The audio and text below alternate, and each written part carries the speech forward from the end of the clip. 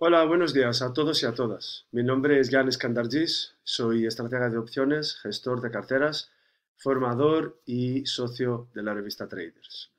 En los vídeos anteriores hemos hablado de cosas importantes como la diversificación de carteras, la importancia de la gestión monetaria, así como los errores comunes que cometen tanto los principiantes como los medio avanzados, entre otros. Hoy he elegido hablar sobre la importancia del plan de trading, del método que tenemos que seguir y aplicando una gestión de riesgo de acuerdo con el capital disponible. Antes quería hablar de un genio de trading que nos da un ejemplo eh, muy bueno por qué tenemos que seguir un método y siempre afrontar el mercado con la eh, humildad que muchas veces eh, hemos hablado de ella. La edición de Cornell Daily Sun del noviembre 29, 1940, hablaba del suicidio del mayor especulador en Wall Street de ese entonces. ¿Por qué? Porque se trataba de Jesse Livermore, quien en su momento, en su muerte, a los 63 años, había amasado una riqueza que equivalía solo a 10.000 dólares en assets y 361.000 en deuda. Y estamos hablando del hombre que tenía 100 millones de dólares de ganancias durante el crash de 29 vendiendo acciones a la baja. ¿Cómo entonces podemos hacernos ricos? La manera no es mediante necesariamente trading en diario o scalping, sí, que son formas muy correctas y hay gente que lo sigue con mucho éxito, pero en general se han escrito 50.000 libros sobre las finanzas personales, pero solo una regla sencilla existe.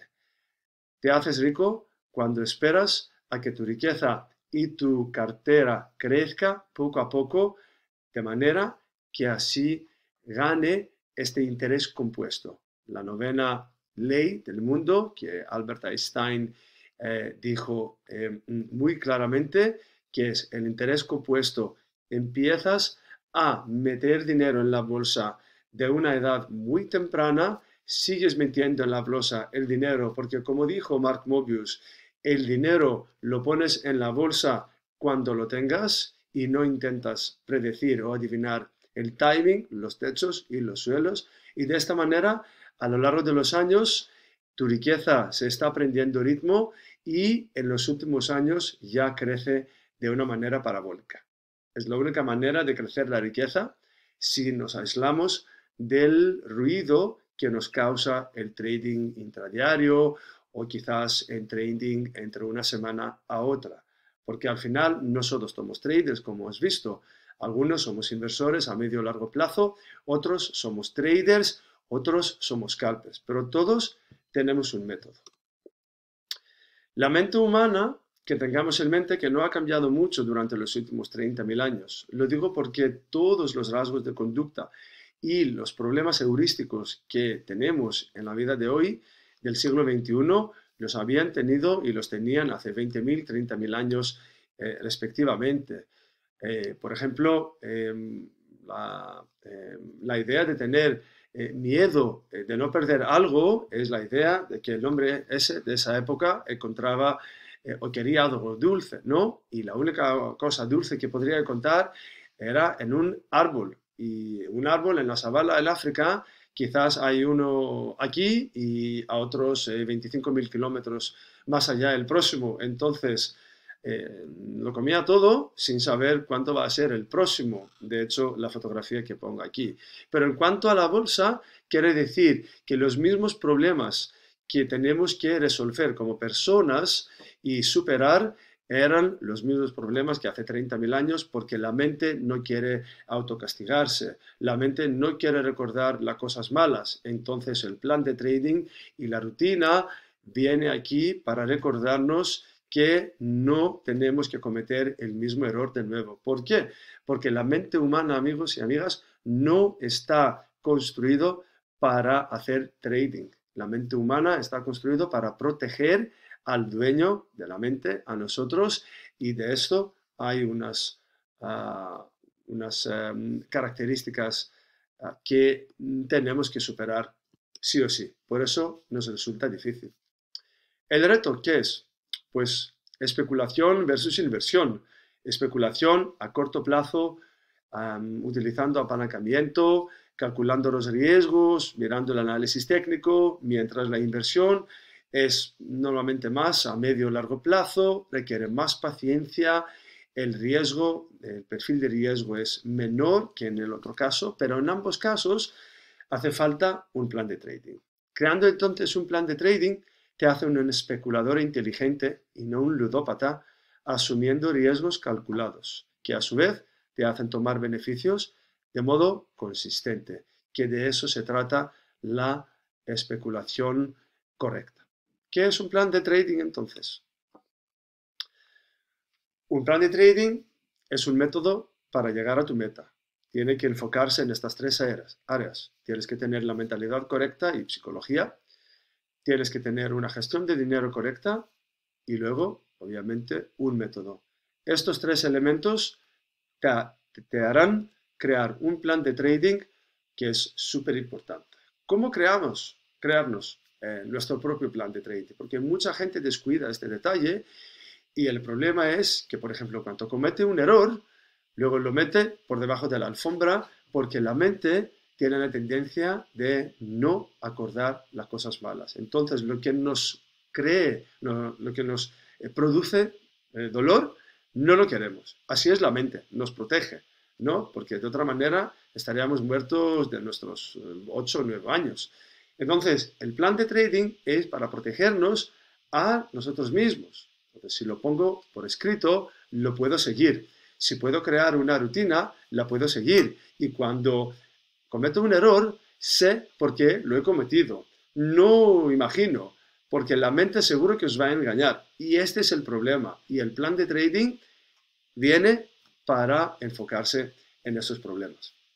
En este plan de trading, entonces, contamos con la psicología del trading, la gestión de dinero, nos revela el ratio correcto de riesgo versus la rentabilidad, el tamaño de posiciones, el timing de las operaciones, la flexibilidad en la estrategia, el diario de trading y obviamente al final hay que disfrutarlo, ¿no?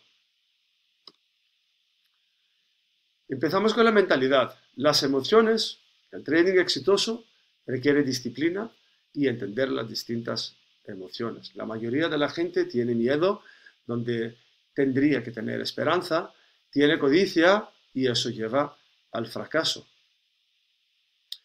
Las características humanas para controlar, pues aquí tiene algunas de estas que para ser un trader exitoso hace falta saber el enemigo que tenemos dentro, la falta de disciplina, confiar en nosotros mismos, aceptando las pérdidas, no teniendo dudas, intentando hacer timing en los mercados, echando la culpa siempre a los demás, no tener paciencia, esperanza, vacilando, tener pánico, todo eso se tiene que controlar. Y la única manera de hacerlo y recordar por qué has hecho algo de una manera errónea es de ponerlo por escrito.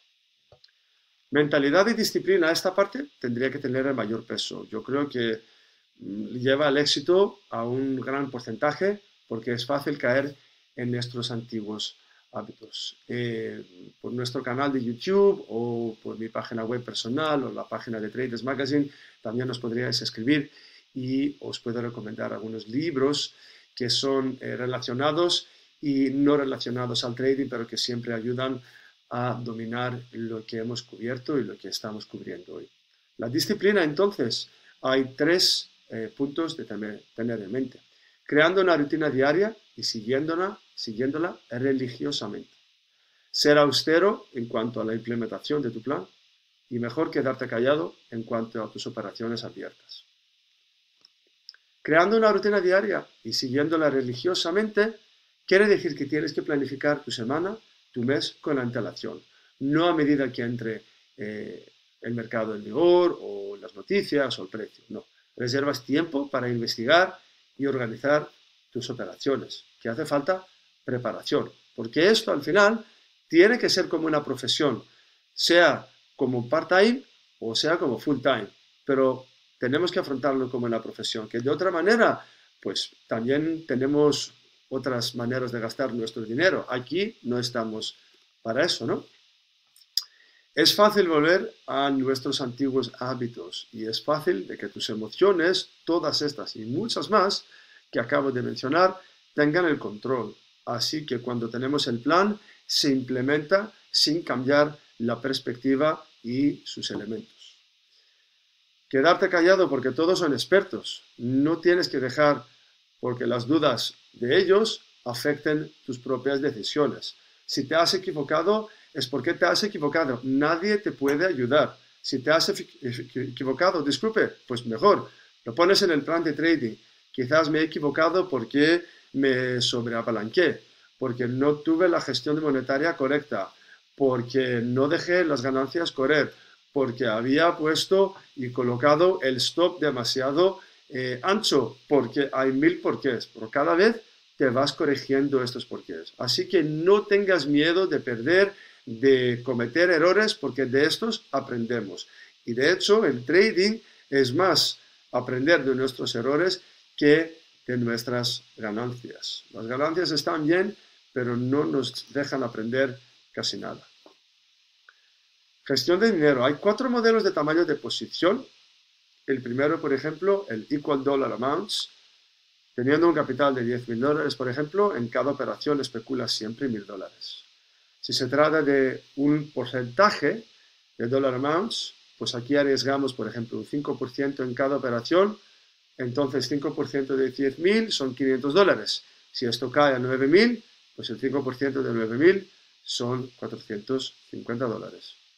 El fixed dollar risk quiere decir que cada vez yo arriesgo un X tamaño de dólares. En este caso, 500 dólares. Si el trade va en contra, pierdo los 500 dólares y ya sé que no puedo arriesgar más. El fixed, la regla de 2%, que también hemos referido a ella en el vídeo anterior, pues que siempre empezamos por un 2% de nuestro capital en total, también empezando podría ser un 1%. La verdad que los traders profesionales extienden eso, incluyo hasta el 10 y 15% en cada posición. Pero después de muchos años, después de haber finiquitando los detalles de un método y que un plan de trading y la rutina ya es en su vida algo normal. Cuando seguimos un método, pues las condiciones de entrada son muy importantes, pero no es lo único importante. Tu criterio de entrada sí que juega un papel importante hacia esta operación exitosa, pero forma parte de este puzzle genérico. Aclarando un poco más. Opera solo cuando tienes una probabilidad de acierto elevada. No tienes por qué operar todo el tiempo. Lo malo que han hecho eh, el acceso súper fácil a la tecnología, a las páginas web y a las plataformas es que han entrado en nuestras vidas y como vemos los precios para arriba y para abajo, con flechitas rojas y verdes, nos sentimos obligados a hacer trading. Pero no, tenéis que aislar un poco de la pantalla y seguir el método y el plan. Y eso os va a desvelar solo los trades con una probabilidad de acierto elevada. Si no la tenemos, no operamos. Acordaos que solo un 15-20% de tu éxito se atribuye a tu entrada, no el 100%. Entonces eso me quita la ansiedad de encontrar el precio más bajo y comprar en el suelo. No, no gastes todo tu tiempo y energía buscando el santo grial. El precio de compra solo explica el 15% de tu éxito. El resto es la gestión de riesgo monetaria, el precio de salida, el mercado, los cisnes negros como el último y mucho más. Así que no gastes tanto tiempo en intentar buscar siempre los precios más bajos.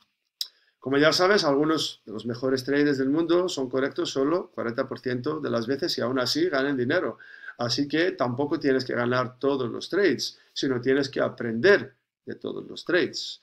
Y una cosa que hacen muchos de estos traders es comprar alto y vender más alto. Entonces, igual, no buscan el precio más bajo para así echarse las flores y llamar a los amigos y contarles la historia de su vida, que yo soy muy bueno y había acertado el punto más bajo y había vendido al punto más alto. No me interesa. Yo quiero comprar alto porque las acciones que suben son las acciones buenas y tienen una razón por la que suben y luego pues puedo vender más alto. Suele ser una regla muy rentable. Condiciones de salida. Obviamente hay muchas, como las de entrada, pero las que sigo yo y las que seguimos en nuestra sala de trading, pues cuando salta el stop loss, no te enfades, aprende de ello. ¿Por qué ha saltado? ¿Demasiado cerca? ¿Demasiado lejos? Puede que no haya nada de aprender, solo que ha sido una operación mala, no pasa nada. Pero si salta el stop, salta el stop y ya está. Porque si lo mueves alguna vez, quizás una vez o dos veces, te sale bien y has hecho bien las otros ocho no te va a salir bien. Y entonces, como en el desplome últimamente con el coronavirus, ya hemos visto el valor que tiene una gestión de riesgo muy importante con los top losses colocados o con el uso de las opciones financieras que vamos a hablar eh, de ellas en otro vídeo. Pero de momento sabemos que el stop loss se tiene que respetar sí o sí, pero saber cómo colocarlo. No coloques entonces los stops demasiado lejos. Eso suele pasar si en algunas operaciones ya te ha saltado el stop porque lo habías puesto demasiado cerca. Entonces, si el mercado va en tu contra, tu capital está en peligro si sigues moviendo, moviendo y poniendo los stops demasiado lejos. Existen técnicas que las eh, eh, podemos analizar utilizando quizás el índice de Average True Range en el análisis técnico o con la acción de precio o sea la que sea la estrategia que ustedes aplican con los gráficos o no, el stop es un stop y hace falta saber y entender dónde se tiene que poner y respetarlo. Sin poner un stop loss las cosas pueden salir mal, pero muy mal, y lo hemos visto en condiciones de cisne negro como la última. Los stop loss se adaptan de acuerdo a la volatilidad del subyacente, lo que acabo de mencionar en cuanto al índice ITR, que nos ayuda a tomar en cuenta la volatilidad del subyacente, que el, euro dólar o la Apple o el S&P 500 no tienen el mismo perfil de volatilidad. Evitar seguramente colocar los stop losses cerca de números redondos, 1800, 2000, 3000 o justo a niveles de soporte o resistencia, porque todos hacen lo mismo. Así que caéis en la trampa de autocumplimiento del gráfico. Entonces el precio raramente eh, para o deja de subir en los precios estos alrededor de números redondos o de situaciones muy, muy obvias. Vamos a ver el ejemplo de día de trading. Hasta ahora espero que hayáis entendido que esto se tiene que afrontar como una profesión, aunque sea dos horas que dedicamos al día o 15 horas.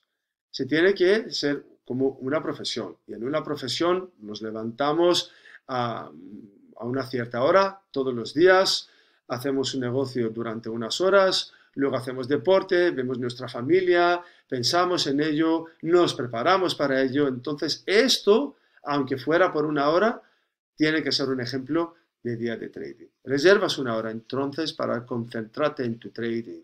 ¿Qué noticias han salido? Toma de un tiempo para estudiar los mercados, los gráficos, en qué vas a operar hoy, miras los gráficos de un día, mm, de una semana, de un mes, ves la, la idea genérica y más eh, a largo plazo para así tener una idea el corto plazo e intentas no distraerte porque es muy fácil distraerte. Buscas los niveles de soportes, resistencia, los escribes, si usas análisis técnico con la acción de precio, el Fibonacci o Heiken, y velas o lo que sea, pero estás ya metiendo un plan de lo que vas a hacer hoy que quizás es nada, que solo esperas, que solo te dejas fuera, por ejemplo, hasta que el mercado em, continúe con una tendencia. Vale, bien, pero es un plan. Las noticias fundamentales es importante, incluso últimamente súper importantes, Ejemplo, dividendos, resultados, los tipos de interés, números del Producto Interno Bruto, todo eso en lo que se refiere a, movimientos bruscos, porque las tasas de interés o las, em, la impresión de, dinero por parte de los bancos, todo esto es súper importante, pues tienes que saber cuándo salen las noticias y cómo vas a actuar, si salen mal o si salen bien, ¿no? Prepárate para tu trade entonces cuánto estás disponible a arriesgar en una operación. O sea, no lo vas a decidir en el momento de operar, porque aquí, ahí, en ese momento entra la psicología y no tienes el tiempo para pensar claramente. Pero si lo tienes predeterminado, sabes el precio de entrada, el, eh, capital que vas a arriesgar, el precio de salida, el stop loss y consideras el tiempo durante el que vas a estar en el trade ese. Quizás eres un scalper y te quedas solo unos segundos, o un trader intradiario, o un trader a dos semanas. Entonces, los shocks que se van absorbiendo eh, y el ruido del trading intradiario a ti no te molesta porque tú estás mirando un poco más allá de estos. Luego, repasas los trades abiertos. Cuando opera, es igual de importante de hacerlo. Has cumplido su objetivo, está cerca, podrías añadir, podrías cortar, podrías mover tu stop para arriba porque esto sigue subiendo, subiendo. Podrías usar tu capital de otra manera, en otro trade, que lo llamamos el coste de oportunidad de capital. Está tu operación cerca de tu nivel de stop loss, sea la que sea. La razón repasa de manera frecuente, pero sigue tu plan.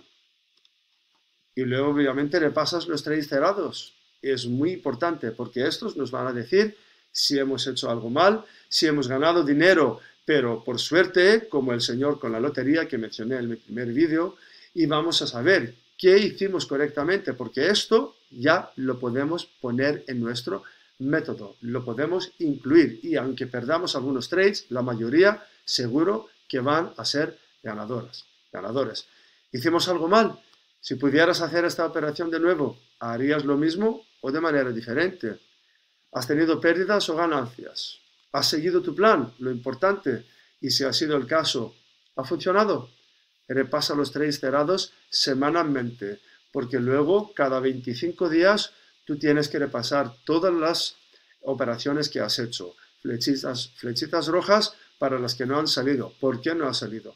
Flechitas verdes para las que ha salido. ¿Por qué ha salido? No me importa que ha salido, me importa el por qué. Y durante 25 días es porque luego tengo que repasar otros 25 días y una tercera vez otros 25 días, que esto es la manera psicológica porque el hombre forma el ámbito durante este periodo de tiempo. Y si tú mantienes la disciplina durante intervalos de 25 días para empezar a monitorizar tus trades, respetar tu plan de trading, seguramente que ya luego a partir del día 76 tú lo haces de manera mecánica, o sea, no haces, no sabes que lo estás haciendo.